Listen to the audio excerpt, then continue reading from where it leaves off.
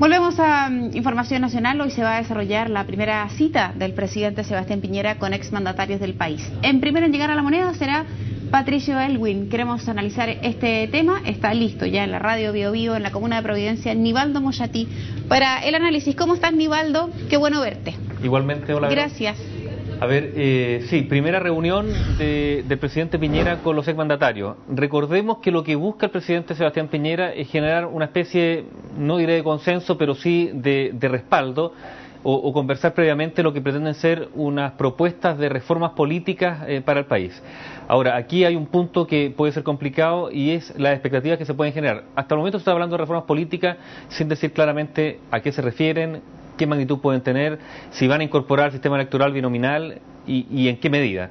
Y, por lo tanto, recordemos que este gobierno, uno de los problemas que ha tenido justamente son las expectativas que generó y que después se le volvieron en contra, y también en materia política, en un año como el próximo, que va a ser un año electoral, con elecciones municipales, pero además donde la carrera presidencial probablemente va a empezar ya a correr, eh, va a ser muy interesante que el gobierno acote cuáles son las perspectivas que pretende desarrollar en relación a reformas políticas. Ahora, va a ir el presidente Elwin el día de hoy, eh, eh, ya está asegurado que en enero van a ir los expresidentes Frey y Lago, y la gran interrogante es qué va a ocurrir con Michelle Bachelet.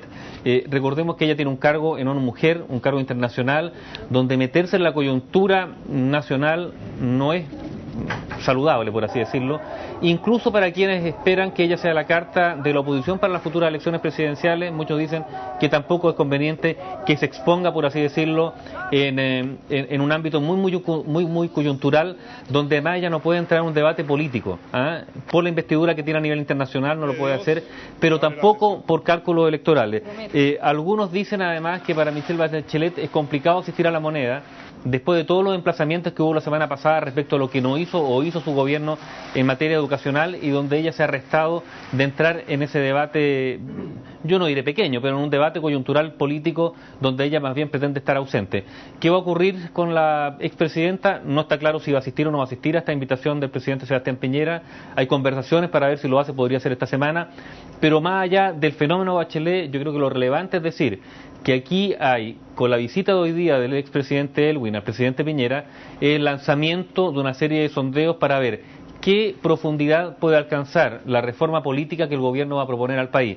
Una reforma que todo lo indica llora, en el sentido que desde hace ya muchísimos años que el sistema electoral chileno o el sistema político chileno requiere una reforma profunda, porque la distancia, por ejemplo, la falta de legitimidad o representatividad que la ciudadanía frente a su sistema político es, entre otras cosas, no solo la única, entre otras cosas, producto de un sistema, de un sistema político que ya está anquilosado, viejo y que, y que quedó atrás. Esa es la verdad. Ya no es para el Chile de hoy y eso se nota en la relación entre la ciudadanía y justamente los políticos.